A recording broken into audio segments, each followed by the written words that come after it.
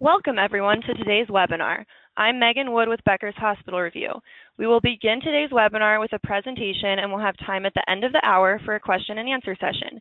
You can submit any questions you have throughout the webinar by typing them into your control panel in the space labeled Enter a Question for Staff and clicking Send. We are looking forward to hearing your questions. Additionally, in about a week following the webinar, we will be sending you a copy of the presentation to the email you used to register.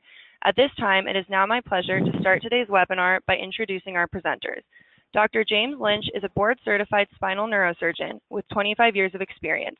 He specializes in complex spine surgery, cervical disorders, degenerative spine, spinal deformities, trauma, tumor infection, and minimally invasive spine surgery.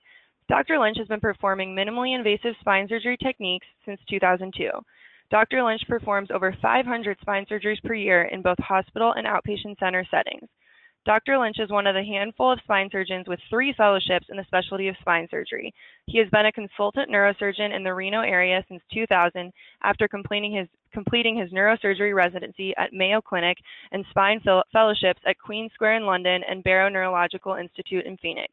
He has also served as chief of neurosurgery at St. Mary's Hospital. Dr. Lynch serves as a partner and director of spine services at Regent Surgical Health, a company involved in developing hospitals and ASC outpatient surgery centers. He has been published in leading journals, including Spine Journal of Neurosurgery and Neurosurgery. As a leading authority on ambulatory surgery center development, Dr. Lynch lectures at national meetings on outpatient spine surgery and minimally invasive spine surgery. Dr. Douglas Smith received his medical training at Wake Forest University Medical Center before pursuing orthopedic surgery residency training in orthopedic biomechanics for three years at the Mayo Clinic in Rochester, Minnesota. Dr. Smith then pursued a radiology residency training at Mallinckrodt Institute at Washington University in St. Louis, Missouri, where he served as a single chief resident. He was called to active duty for the Gulf War as a major in the United States Air Force, serving at Wilford Hall Medical Center. He served as the chief of the radiology residency program, chief of emergency radiology, chief of outpatient radiology, and chief of orthopedic radiology, receiving spe special commendation for revising radiology and orthopedic workflow collaboration systems while involved in military use of telemedicine including initial use of radiology image transmission using secure satellite transmission support of Gulf War military theater. Dr. Smith is an American Board of Preventive Medicine board certified clinical informaticist and holds 10 USPTO patents pending in the areas of interoperability, medical informatics, and medical te collaboration technologies. He's a serial doctorpreneur, inventor, medical software designer, thought leader, and advocate of meaningful collaboration, and is the CEO of Celebrio MRI Diagnostic Imaging. Nancy Richardson combined her industry and client passion with her career experience in engineering, corporate business research, and product and services marketization and launch to create her own business, VOC Company LLC. VOC stands for Voice of Customer, though she researches, plans, positions, and launches companies or products and or services of a company based on the voice of the client, industry, sales, and leadership. Her career uniquely launched in the technology world by way of specializing in radar and navigational systems of fighter jets while serving our country in the U.S. Air Force. This experience also opened Nancy to many cultures, having lived abroad and worked with and visited over 25 countries. During her career in IT, she continued her education to achieve her Master's of Science, while also engaging with vertical markets by way of being positioned in industry boards and communities focused on collaborative and process improvement initiatives. As the U.S. government launched their new health insurance approach in 2009, she conceived, launched, and hosted Healthcare from the Hill Live, a weekly national broadcast featuring a range of key lobbyists and guests from Washington, D.C., recorded and distributed through 2011. She looks forward to hosting our audience and today's guests. Nancy, I'll now turn the floor over to you. Thanks, Megan, and welcome everyone. Welcome, Dr. Lynch and Dr. Smith. Thank you. And welcome everybody and audience members. Uh, we really appreciate your participation. I think you're going to be in for an exciting insight into the innovation of weight-bearing technology, especially focused on uh, the spine as a specialty.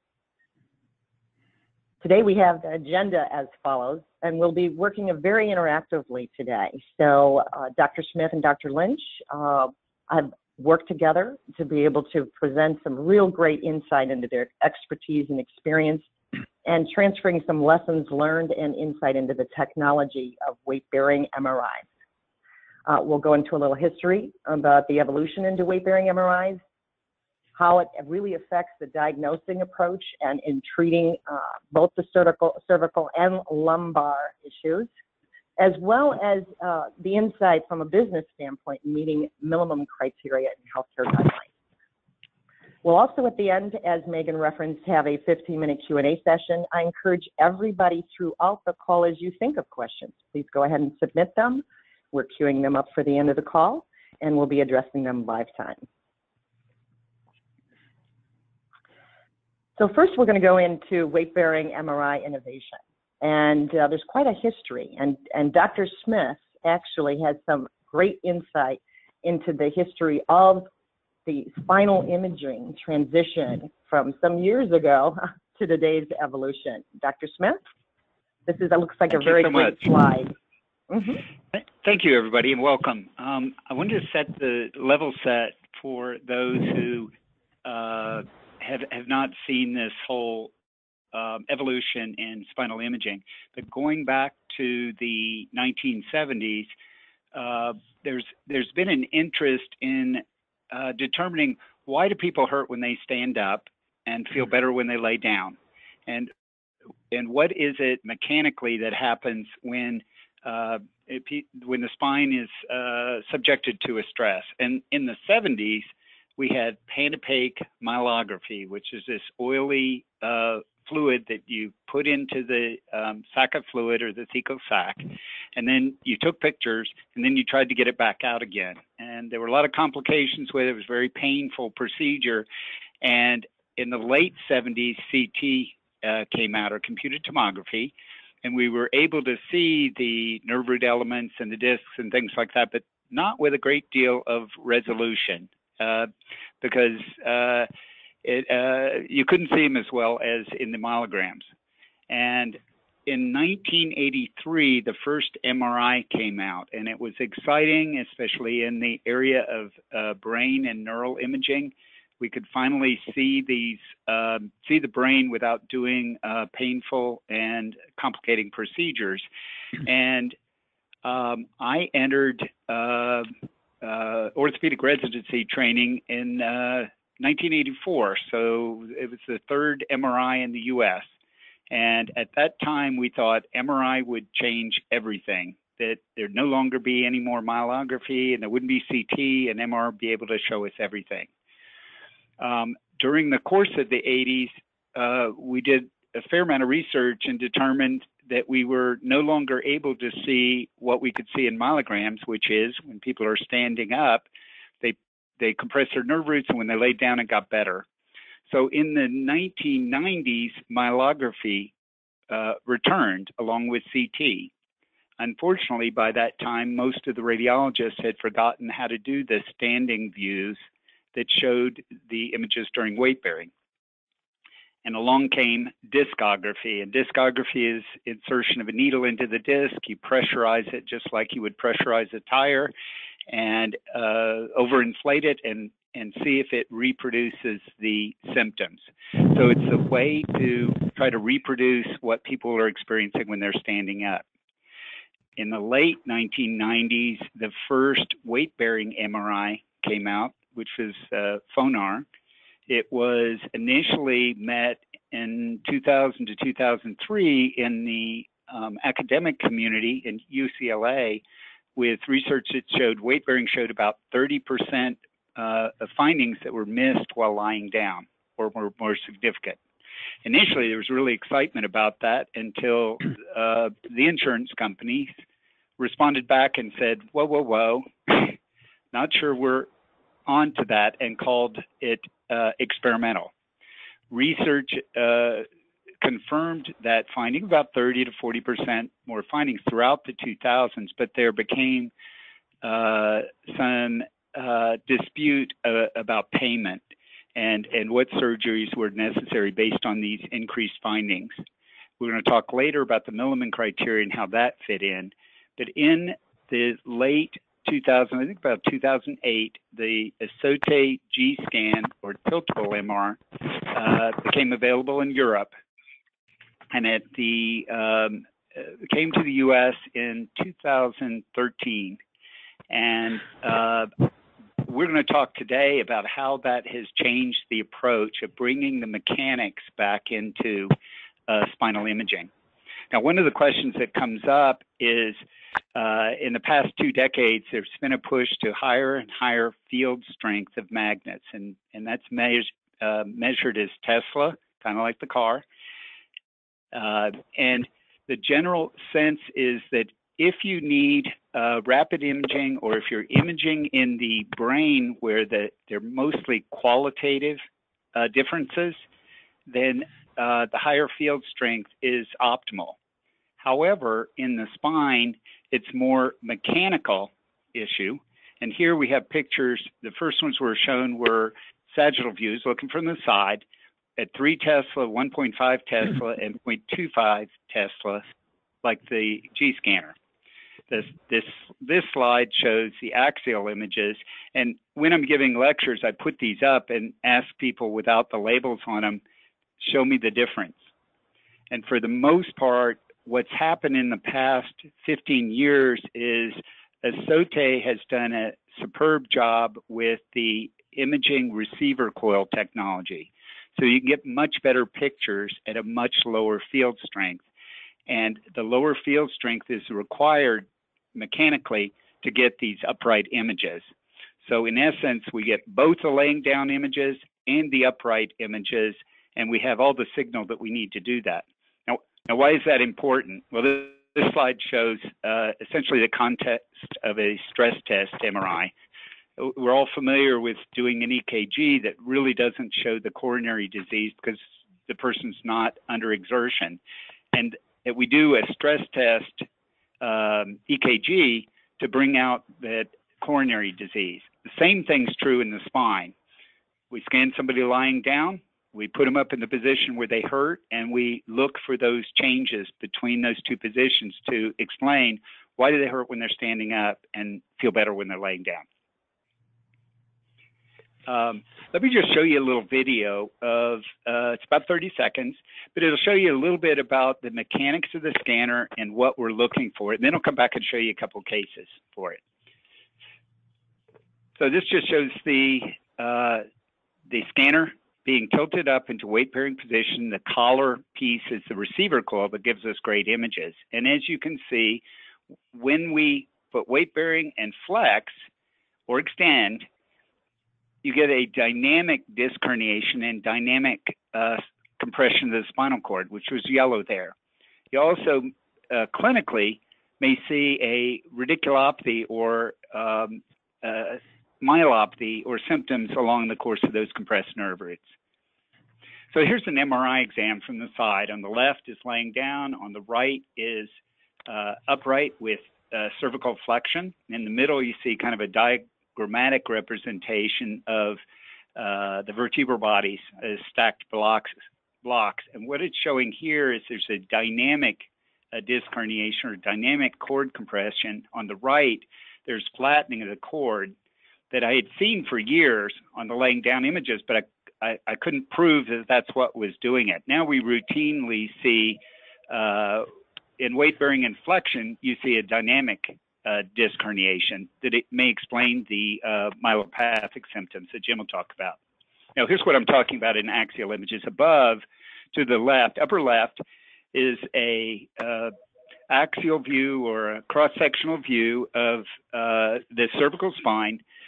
The uh, white is the fluid around the uh, spinal cord, and you see the cord that should be a smooth oval is flattened in the front. I'd seen that for years, and I say, gosh, it looks like something is probably compressing that. Well, if you look at the image on the right, you'll see same patient uh, sitting up in flexion, and you'll see there's a dynamic disc herniation. It gets bigger when you compress the disc. And essentially, what we're doing with upright and flexion is the equivalency of a discogram. We're compressing that disc, putting it under greater pressure, and uh, that's where that dynamic uh, cord compression comes from. This just shows the still of what you saw in the video. The uh, orange lines that go down the hand are the nerve root distribution. In this particular case, we're showing the dynamic disc herniation on the right with cord compression, and that represents uh, myelopathic symptoms. So I did pain management for about 15 years, and I would encounter people with these positional uh, neurologic symptoms for which there wasn't a great explanation on conventional uh, supine imaging, and now we routinely are able to explain the uh, neurologic or radicular symptoms that Dr. Lynch will talk about uh, later. So, a um, question um, for you. so, how has weight bearing really impacted your current state of how you really work with your local environment and community with weight bearing technology and introducing that into that area versus the typical traditional supine approach? Well, I think it's confirmed um, what I have experienced uh, in training and um, you know in 30 years uh, worth of experience is that um, the spine is a dynamic uh, structure. It changes in shape uh, when you're uh, upright and also during activities. And our, we've spent the past 30 years trying to figure out how to display what patients have been telling us for years.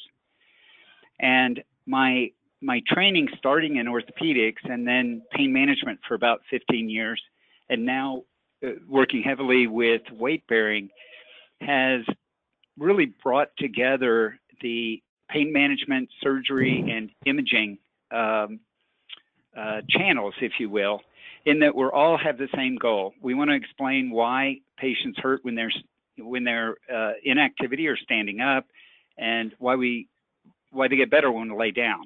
So I think of it as a uh, if I had 3T a 3 Tesla supine image, and I had a really high resolution um, picture of a falsely negative test, that doesn't help me. Uh, I still haven't explained why the patient has their pain. But if we put them upright and flex them, and we compare that with a pain diagram on each patient, then we can correlate the neurologic compression with the distribution of symptoms, which is really one of the basis for the Milliman criteria, which leads into your next question. Exactly. Well, and, and that really, and thank you very much, Dr. Smith. That was very insightful because you're introducing that technology. And I understand of, of this technology, it's so innovative that there's, there's maybe a, a handful across the country at this point, and it's just starting to hit, hit the market with some reality and understanding exactly what you just said and how it impacts the patients as well as the surgeons. Which brings us to how you and Dr. Lynch met. So I understand actually it's courtesy of a Becker Spine Review article that you posted. And um, and Dr. Lynch is on the phone as well. And I was just thought it would be a great question to understand how you two met and what came out of that that meeting. I'll, I'll probably take the lead on that. So, Doug, uh, seems I made the first contact. Um, it's a pleasure to be on this uh, Becker's webinar um, uh, today. But um, I first uh, got in contact with Doug after reading some articles that he presented uh, in actually April 2013. So over four years ago now, he discussed uh, Milliman criteria uh, with spine imaging in, in general, uh, which was exciting, and also he addressed um, basically incorporating weight-bearing MRI into a spine practice, which certainly was exciting for me as a, a, a neurosurgeon at the time, uh, you know, fast-paced uh, practice and uh, trying to keep up on things. Uh, Becker was the leading light uh, for sure uh, when it came to advanced practice development, and, and has continued to do so and has strengthened it, its authority over the last four years, and it's it's read and, and seen by many both on social media and the the, the website and the, uh, the literature they produce. Uh, this was attractive to me, and I saw this article about the, uh, the uh, uh, weight-bearing MRI in the spine practice. I read the article, and it basically showed several of the advantages that Doug has uh, alluded to on the cervical spine and what we'll talk about in the lumbar. And it certainly got my attention. I reached out to Scott Becker, and he put me in contact immediately with Doug, and we, we ba- began a conversation over the phone. And Doug invited me down to uh, uh, San Antonio to visit his practice as a radiologist and see the technology really firsthand, um, which you know basically sold me on the technology that this was something that uh, we could readily incorporate into Spine Nevada as really a truly differentiating uh, component to our um, growing practice, and uh, it has to to this day. Excellent, excellent. Now, what I was curious about myself is in, in the draw of the Milliman Care Guidelines themselves.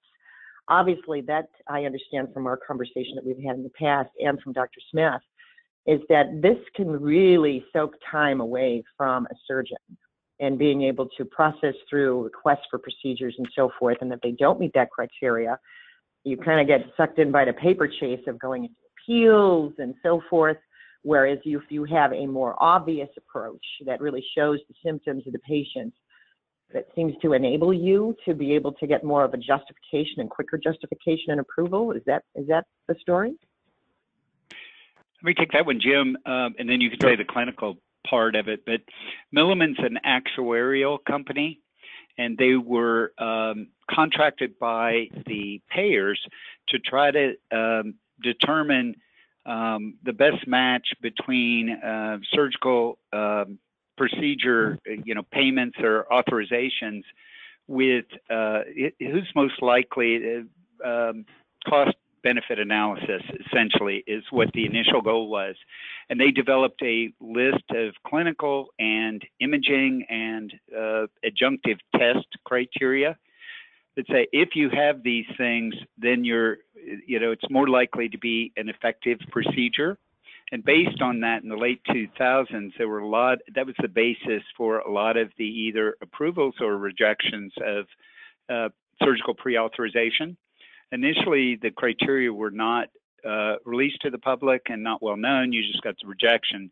In the past few years, the the criteria have become uh, more widely uh, accepted and most of that now is all done by uh, coding, uh, whether it be ICD-10 coding now or uh, you know the particular codes will allow the computer to suggest approval or disapproval, and then I'll, I'll uh, so it's important to make sure that you capture all of the findings, whether it's clinical or it's whether it's radiology, uh, that you leverage your technology, the experience of your observers, and in particular that all that translates into proper coding, so that it uh, it will support the surgical uh, pre-authorization request. Jim, has that been kind of your what's your your experience? Yes, uh, Doug, that's a, great overview. And as you know, the, the Milliman or MCG guidelines that are called now, you know, they're guidelines for determination most appropriate level of medical care. Um, you need to know the guidelines as a physician and a surgeon in particular submitting uh, uh, surgeries. Um, so, with you know, assuming that the physician uh, submitting the code uh, knows that the signs and symptoms are accurate and that they've demonstrated failure to improve with conservative care, the the the reviewer is is going to put the majority of their weight on the accuracy or the interpretation of the radiographic interpretation uh, and essentially the summary. They're not going to go into the meat and bones of the of the um, the MRI or the CT scan, but mainly, mainly the MRI for these purposes. And it has to reflect uh, accurate uh, compression uh, at levels that are demonstrated on the clinical notes. And if the two don't uh, jog, if you like, um, and you, that's the easiest way for them to deny it as not medically necessary at the first level. So what we've seen over the years is in our MRI, we've demonstrated uh, more accurate uh, uh, demonstration of compression of nerve roots in the weight-bearing state uh, that hitherto was not seen, and that explained things a lot better for us. Uh, the report then was more accurate and it reflected it, and it gave us a, a stronger uh, argument with the insurance companies.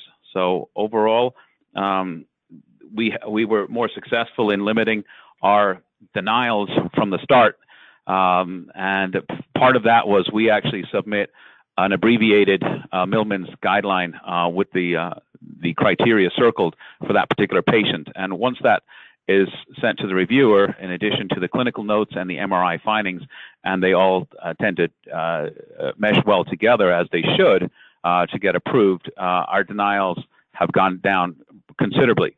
And secondarily, when it gets to the appeal level and the second level, um, we found that we've had more demonstration uh, of strength again in, in combating the appeal uh, with the MRI and demonstrating uh, the pathology, whether it's foraminal stenosis or bulging disc that weren't seen before um, on other um, uh, other types of imaging, supine imaging, um, and importantly, um, the radiologist interpretation has to jive with it. And I think the, the experienced radiologist who can uh, interpret what's really there and help us um, clinically uh, has been a, a win-win over the last three years. So. Mm-hmm. So you find that, um, and it's a great discussion, and it sounds like it really opened up some some great, you know, next steps between you and Dr. Smith. You made a point here about uh, the radio. It's really important that you have a, a, radiologist that knows how to read. It seems these spe- special images from a vertical versus supine level for weight bearing. Um, how did how did that impact as you grew, you know, obviously you said that you actually have a G-scan now on your location, a weight-bearing MRI. Introducing that and working with the radiologist, um, is my understanding that you work with Dr. Smith to continue that down the road as sort of a business relationship and introducing that to your community. Is that correct? Uh, yes, ma'am. Um, we have a, a very uh, strong uh, working relationship with uh, Doug uh, and musculoskeletal uh, group that he's formed, in addition to his high level of radiographers and the, the readers, and um, they they they also request the clinical guidelines. They request the patient pain diagram. So essentially, they're they're focused on looking at the MRI. It's not sort of um, blanket sort of target shooting. They're really look at looking at for defined areas, uh, basically as the surgeon does, and that's what we do clinically, and we've done for years. And that's why our argument with the insurance company has always been, you know, hitherto we didn't put a whole lot as much weight on the radiologist's interpretation. Said we're, we're doing our own. This is what I'm looking for. I'm looking to see how that L5 nerve root is affected clinically. They have an M- L5 nerve root uh, compression. They've supported EMG documentation of that. And is it getting caught from lateral recess stenosis and at the L4-5 level? Is it a, a far lateral disc at L5S1 or foraminal closure? Um, and is that being demonstrated uh, appropriately by the the the MRI itself, and I believe this technology shows more uh, for sure. It's certainly 30 to 42 percent uh, higher if you look at the um, the literature from UCLA and the Aberdeen group in, in Europe and uh, the Esaote group, and also that's probably our interpretation here. But the radiology interpretation is key, and that working relationship is essential in making this whole technology uh, work. It's it's a symphony, and when it works, it's it's in collaboration. Uh, it, it's hard to beat, honestly, and it's been. Uh, uh, revolutionary for our practice. It's been a, a massive advantage to our practice and uh, it has reduced the frustrations in dealing with uh, denials and appeals uh, considerably over the years. Excellent, excellent. And um, on that note, a great transition as you were speaking specifically relative to the lumbar area. Uh, I've posted this video that I believe we have on mute right now for you to be able to talk the audience through on its value and specifics relative to the weight bearing MRI. I'll kick it off now. Uh, so this is a, a, straightforward lumbar MRI. Um, a short segment is a few, uh, 30 seconds uh, out of 90 seconds of a clip demonstrating the weight-bearing capacity of the MRI with this animation. The patient's loading here, and we see the the redundant uh, ligamentum flavum uh, pushing in uh, dorsally to the, the nerve root canal there. Uh, in addition to the central bulging disc. I mean, it's a dynamic component with the weight bearing. It's often uh, not one or the other. It's often a combined uh, process with the disc bulge, the facet hypertrophy, and ligament uh, compressing posteriorly, in addition to uh, demonstrating uh, the instability if, if present as well. Is, these are some axial images representing dynamic positional changes uh, showing on the, the left the standard supine uh, view, and then when the patient's placed in a weight-bearing position at 78 degrees, um, the in, in uh, ingress of the ligamentum hypertrophy in the spinal canal, which is quite remarkable. It's really hard to believe it until you see it, uh, and you have to look at, you know, several years now at this stage. We've we've collected. Um, uh, examples of it, and it, it really has made a believer out of me and dem- demonstrating it. But this has all been done years ago in, in positional and kin, kin, uh, kinetic MRI, um, basically in research labs 20 years ago when they were demonstrating the um, the the nature of flexion and extension, and we know clinically that's what that, that's what happens. Uh, that the patients uh, get more symptoms when they extend, um, and they they're relieved somewhat when they flex. Hey Nancy, can this we jump in on that previous sure. just for a second? I'm just going to reinforce what Jim just said. I know this patient, and we had done a supine 1.5.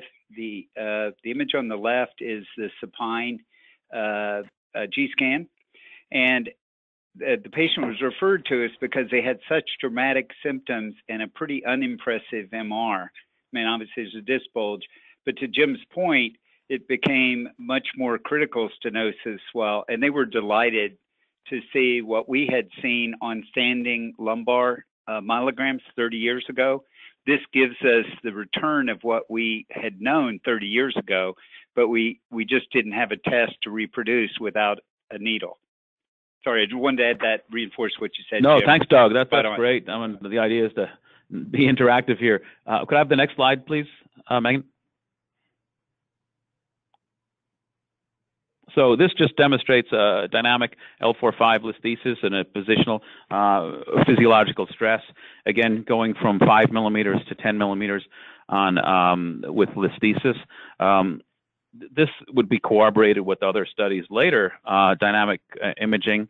But uh, the, the, the you know study of choice is an MRI, and once you start demonstrating this, you can really see how the patients become so symptomatic uh, with this, and this is a, a very nice, clean representation of that.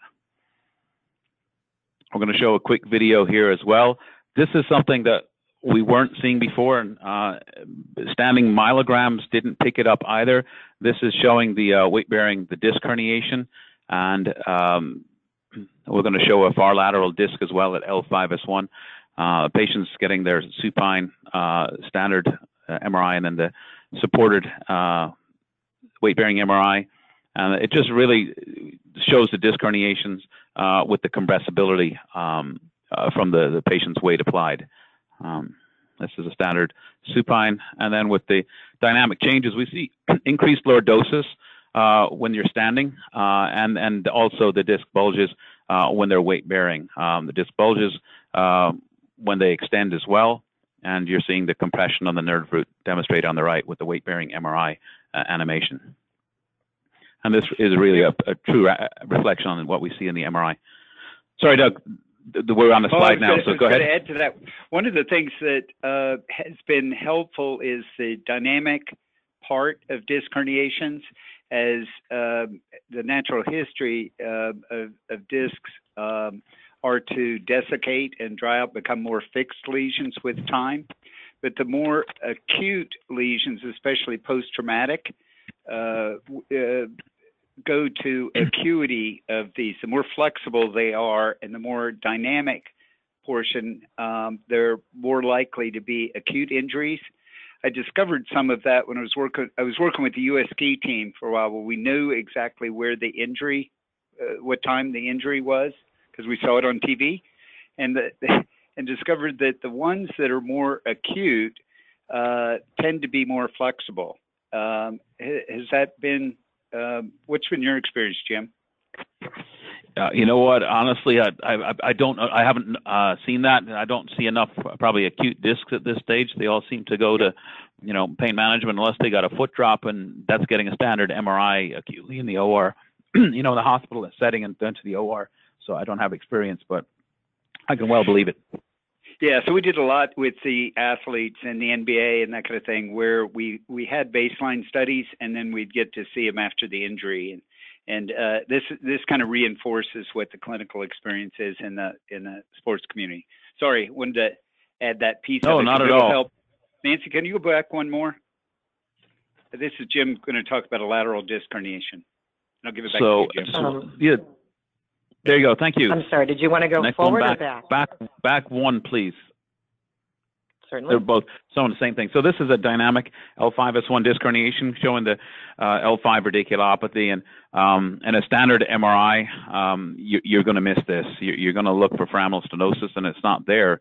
And this is a clear demonstration of that lateral, um, far lateral disc herniation seen with the weight bearing uh, compressing the exiting L5 nerve root. And we see these um, time and time again uh, that are not picked up in standard MRI. So this has really changed uh, the accuracy of our diagnosis, number one, resulting in better treatment, a, a, targeted treatment with selective nerve root blocks, and obviously better treatment, better diagnosis, better outcomes, uh, better relationships with the insurance companies, um, the uh, your referral uh, groups, and obviously your patients are happier. So uh, we can move to the next slide, which demonstrates it other, otherwise as well. one- Um, Could I add one? Yeah, well, same thing. Yeah, go ahead, Jim. Yeah. No, go ahead. You can finish that off. This shows the far lateral just there on weight bearing. Yeah, exactly. These are scout images, so the coronals are somewhat grainy, but we, what you'll see is that uh, the left image uh, is uh, supine, and there's really no uh, the the the dark is the disc going out laterally, uh, compressing the extraforaminal root, and in the center are the supine image and the then the weight bearing image below, and the disc herniation is dynamic and compresses that extraforaminal nerve root. And I don't know about you, Jim, but I, I went through probably 25 of my 30 years without having seen these often because I didn't have the right test to look for it. When we did myelograms, it's outside of the dural root sleeve, so you wouldn't see it. When I did discography, I'm either shooting from the front or the side, and at that angle, it's covered by the bone, and you wouldn't see it you just would inject the disc and they would you know it would reproduce a radiculopathy. But i when i started doing these weight bearing images i started seeing this case. And the one we showed a minute ago was one of our first cases with a patient spine surgeon there and said we've been we've been chasing this thing for two years. It's a solid l5 radiculopathy but we can't find why it's there. We stood him up and that's what we saw. Sorry good clinical story for it. I, I, I, agree. So I'd like to just quickly say the the animations are going to be attached. Uh, these were abbreviated animations. They're all about 90 seconds clips, and they'll be at the end of the uh, webinar for anybody who wants to look at them in detail later. Uh, we produced some re- uh, locally in Reno with Lure Animations in conjunction with Doug Smith. So we both have our various copies on our websites, but they'll be included in the webinar. And they really demonstrate the the um, the pathology and the uh, the points that were made. Thank you. We'll, we'll ensure the links go out to the audience members. Uh, that, thanks for making that touch. Perfect. So now we're at a stage, great conversation, gentlemen. When we're looking at the outcomes, how did this really impact from a surgical perspective, from a radiological perspective, and from a healthcare perspective along the impact within your businesses?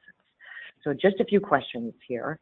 You know, when we're looking at the, how this weight-bearing technology has really impacted uh, the guidelines. I think we discussed this earlier um, and touched on it. Maybe we can just give a, a, a, quick summary point, and then we're going to proceed into, you know, how the impact of the patient, you know, the procedures and so forth from a surgical perspective. I'm sure Dr. Lynch has, has huge insight into that.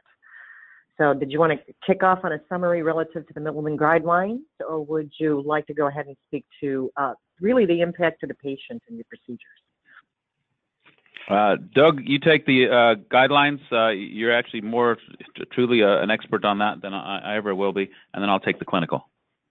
So yeah, sounds great. Uh, and I, I think what uh, the G scanner, along with uh, comparison of the findings, the dynamic mechanical post portion of the um, unique study, combined with the clinical part with pain diagrams allows us to take the um, anatomic findings that we see on MR with the pain diagrams that reflect the effect on the neural structures and uh, combine those to the ICD-10 coding, which is um, which helps uh, Dr. Lynch or Jim uh, uh, put it together with what he sees clinically and help support uh, his surgical recommendations um, uh, to the patient. And I, I see my role is helping to Jim to get the right procedure for the right patient at the right time without being obstructed by uh, you know poor coding or, or other things on our end that that might um, conflict with what he sees with the patient. So our, ours is a supportive role to try to get the right uh, coding and information to support uh, a, a Jim's impression. Thank Great, you. Thanks. And on the on the patient and clinical side, Dr. Lynch, and uh, we've got about 10 minutes to work through a couple of a couple Okay. of other key questions, and then we're going to open to Q and A, audience.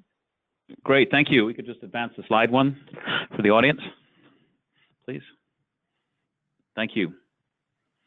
Um, I will just, uh, one more, please. There you go. Um, overall, th- this is really, for me, a, a new frontier in imaging technology. Uh, it's redefining imaging of the spinal motion and, uh, and its direct impact on nerves. Um, I view standard traditional MRIs that we've seen for the last 20 years as really uh, a method for uh, demonstrating the composition of the spine.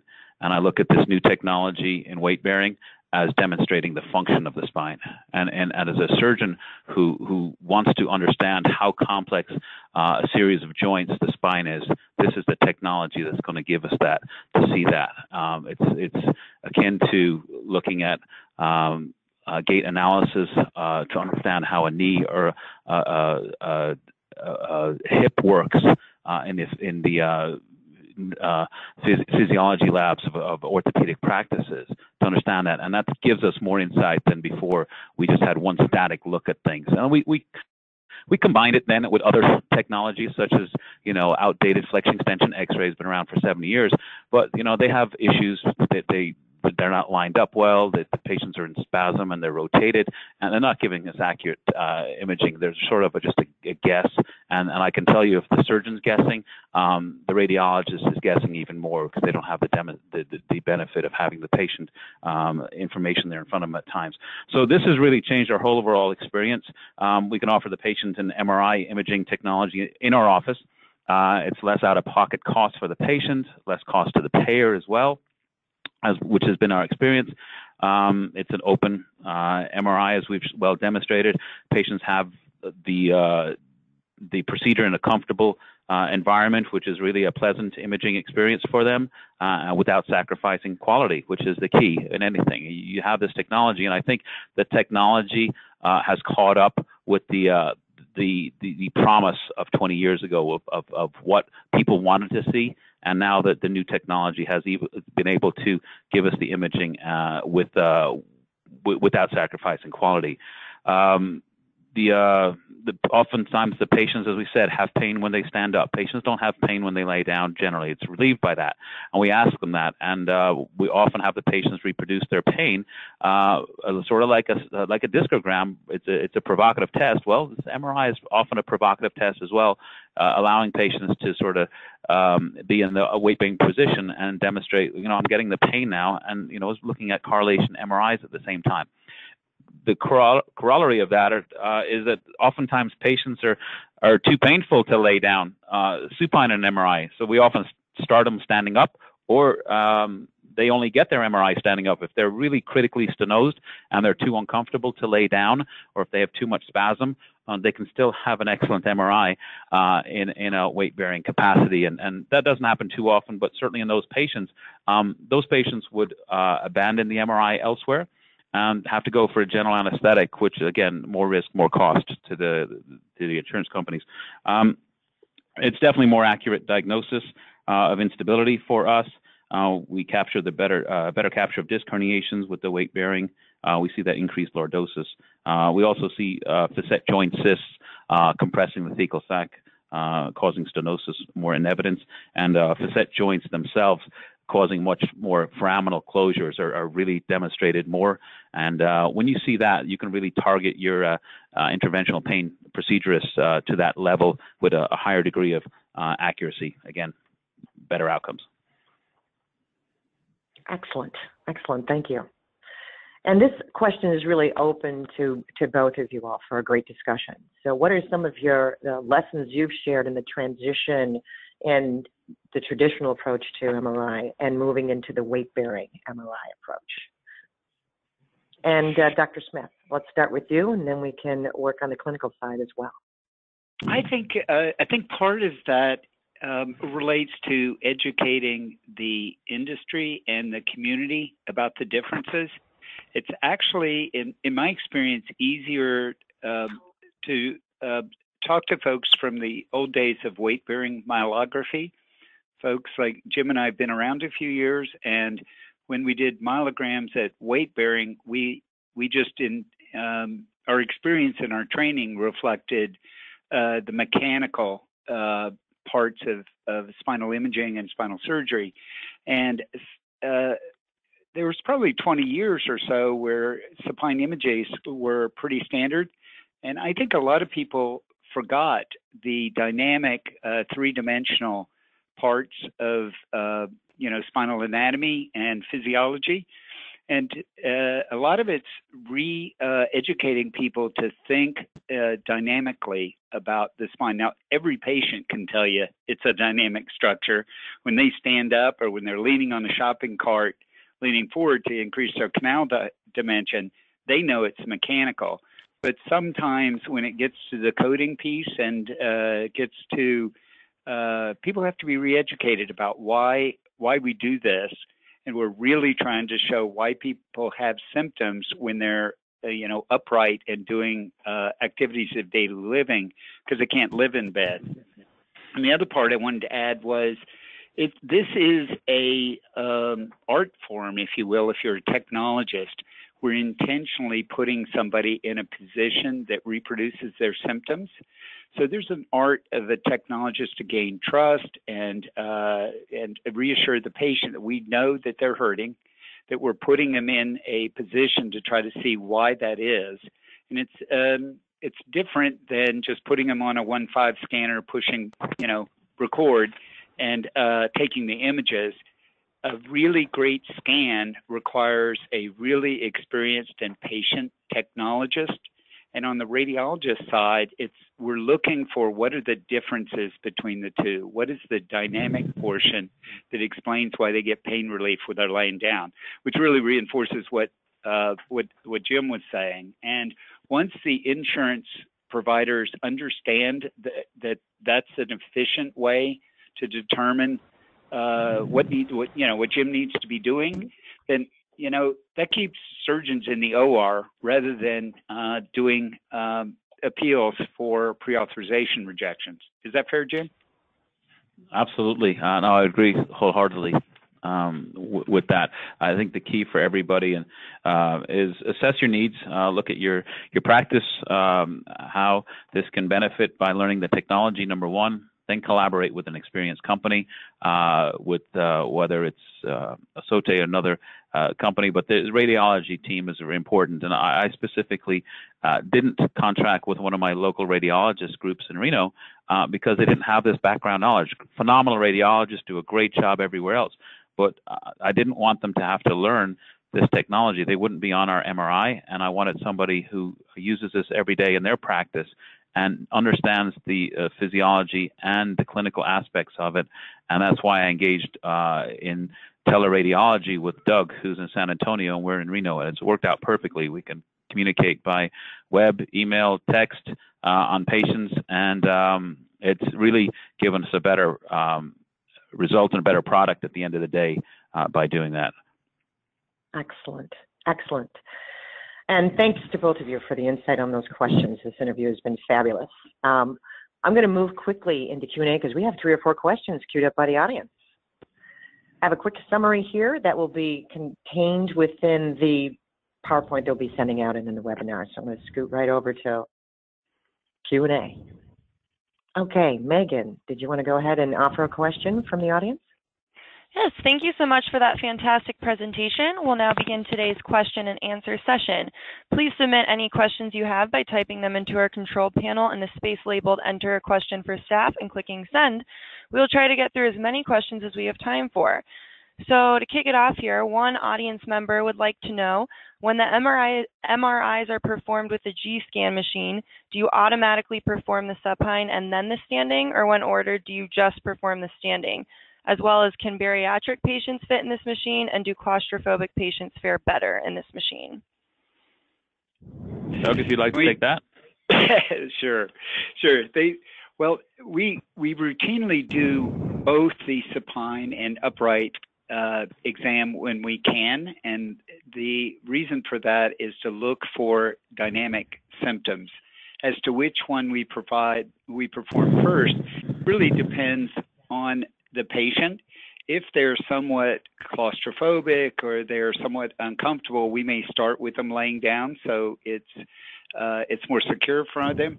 If they're really uncomfortable standing up, if they've got you know positional uh, symptoms that are severe, we'll start with them upright and get those uh, images before they fatigue, and then lay them down. But I think it's really important to have both sets of images so you can one determine if they're uh, if if you saw the disc herniation standing up, you still don't know whether it's dynamic, and you don't know. um you know, you get more information from doing both. Does that make sense? And oh, bariatric patients.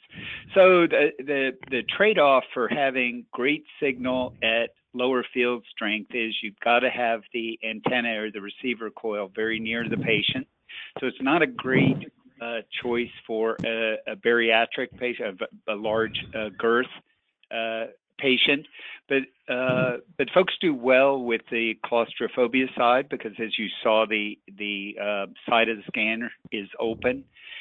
Our experience with claustrophobia relates a lot to their um, uh, interaction with the technologist. If they spend some time up front building a relationship, and then the scanner uh, shell is called a pavilion, and it has a they can talk easily you can hear the patient breathing so it's a very um, personal experience and that really relates to the claustrophobia as opposed to being in a you know kind of soundproof room with this you know uh, that's what gets people spooky that help? Great, thank, Thank you. thank you so much for clarifying that. The next question is, what is the percentage of examinations where you saw changes in weight bearing versus supine? I I can answer that I think so Sure, sure. I've probably read, um, we're getting pretty, 10,000 uh, MRs. I've read probably 300,000 in my career. And um, the UCLA study showed about 30% of the time you saw uh, findings that were either only seen on weight bearing or more significant on weight bearing than supine. And I think that your your rate of differences depends on your patient population, but I think the 30 to 40 percent is a, a, good number for that. If you're doing uh, acute trauma like uh, motor vehicle incidents, then you may see more acute disc herniations or sports injuries, things like that. Like USD team, we saw those kinds of findings. If you're dealing in uh, you know, older patients, Medicare patients, you see more mechanical um, facet joint slippage, listhesis, and dynamic central stenosis. And and uh, Jim, you know, Jim has a fair amount of experience with that. Let me pass that to him. Absolutely, uh, I would concur. While I don't have, I haven't done a study on it.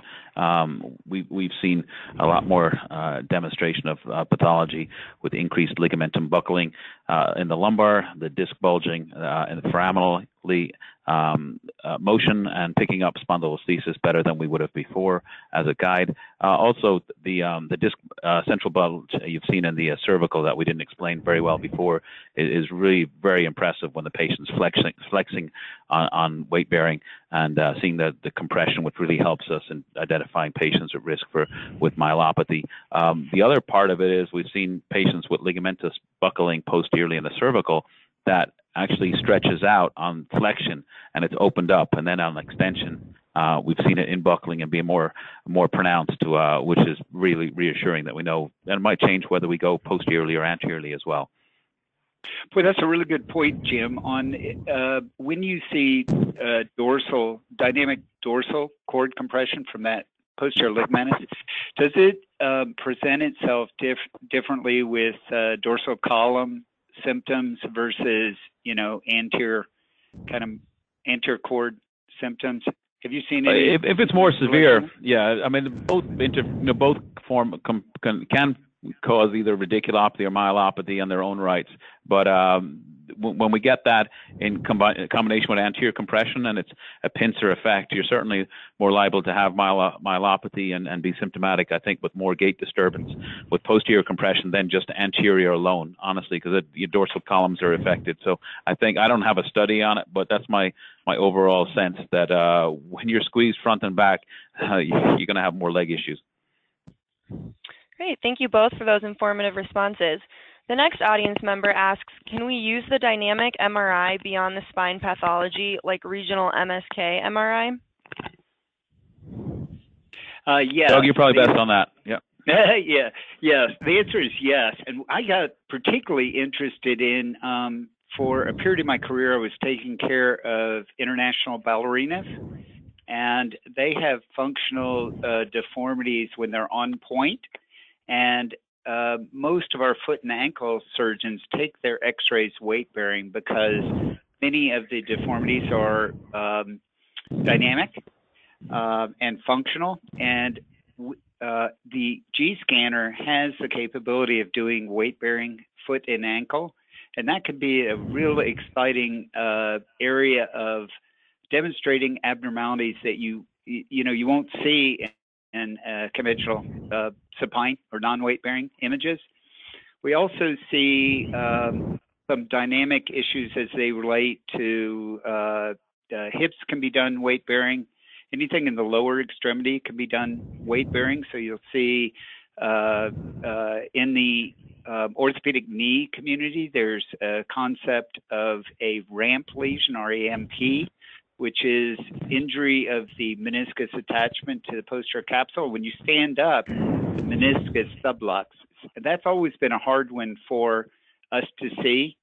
But with dynamic weight bearing, it you can easily see uh, that dynamic, you know, things that arthroscopists have seen for years.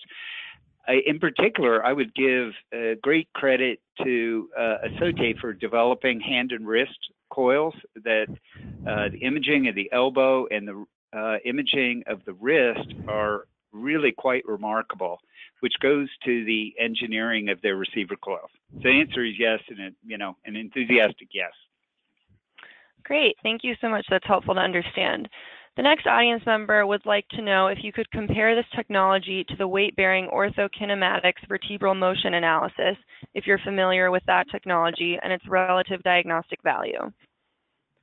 Wow, that's that's uh, that, that's one for me. Um, we uh, at Spine Nevada, we're we're we've opened. Actually kind of like that Remington guy. I bought the company thing. Um, I, I believe in the technology so much of the weight bearing. We're opening our second uh, Esaote weight bearing MRI this month in two weeks' time. In conjunction with that, we have three vertebral motion analysis uh, machines, orthokinematics, and this is part of our whole push towards understanding the function of the spine. And you'll see on the, the videos, the animations that it's, uh, I've called it our in motion MRI as opposed to just weight bearing. And we're kind of looking at the overall function. And uh, we've used that to, to kind of tie into the rest of our company uh, with in motion uh, technology, uh, in motion physical therapy. But our orthokinematics has been revolutionary as well, and using the two com- com- combination, demonstrating patients uh, showing on the lumbar alone uh, higher degrees of spondylolisthesis and slippage when you eliminate their ability to uh, splint and uh, when they're in pain they splint and they don't move um, where you remove that when you use this um, vertebral motion analysis. We also flex uh, and extend the patient in one plane so it eliminates that um, inter-observer view um, where they can't see, particularly scoliosis or somebody's moving, um, they can't demonstrate the back of the vertebral bodies very accurately with consistency because the patient moves in a different position and it's trying to do a 3D uh, reading and they're just guessing it at the end of the day. So this is pure and accurate and it's an objective measure. That in correlation with the, M- the MRI has really, I mean, the two of them have have resulted in not near to zero, but close as uh, zero denials from the insurance companies. Once we do our part educationally and submit the, the correct patient, our, our imaging is, is hard to argue with. So it's been a great benefit to merge the two technologies. Great, thank you for clarifying that. And it looks like we have time for one more question. Could either of you clarify what the room size requirements are in voltages? That's Doug. Oh, uh, on voltage. Uh, good question. So there's two components of it. Um, there's 220 and 110 for different components of it. Um, I think the the big part in your project planning is to uh, make sure that uh, assure that you don't have interference on the radio frequency or the um, electronic part with the imaging. Um, and I, you know, it's helpful to get that vantage point on the practice as a whole so that the practice fits well into the environment, but also so the environment doesn't adversely affect uh, the MRI from a engineering standpoint. Thank you. That's very helpful. That is all the time we have for today. I want to thank Esaote for their excellent presentation and to our audience for participating today. Enjoy the rest of your day, and we look forward to having you join us for future webinars. Thank you. Megan. Thanks all.